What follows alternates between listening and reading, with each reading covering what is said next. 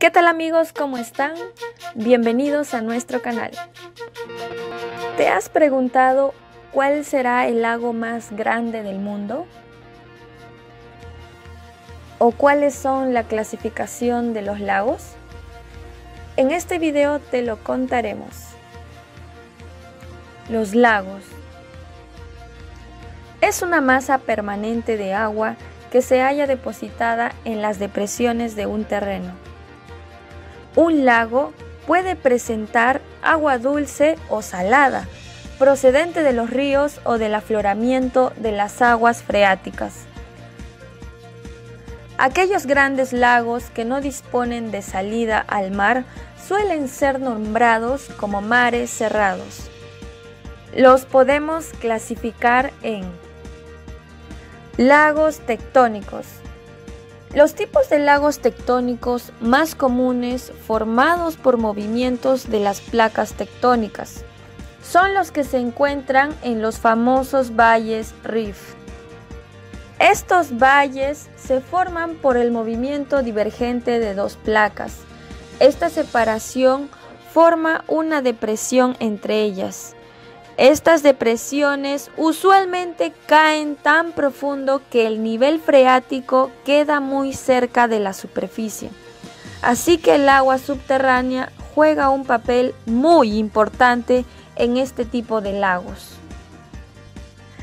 Estas cuencas pueden luego llenarse también por precipitación.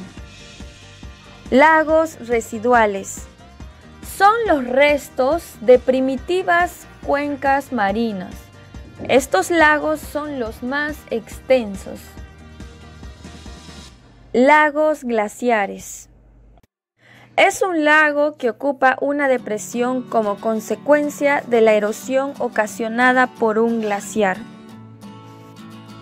El agua de los lagos glaciares puede tener un color blanquecino o verdoso debido a la presencia de finas partículas minerales que favorecen la presencia de grandes poblaciones de algas.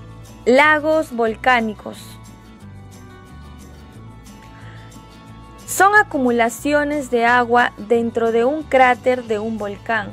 Actúan como si fueran un filtro, ya que atrapan o disuelven los gases ácidos que emanan de los volcanes.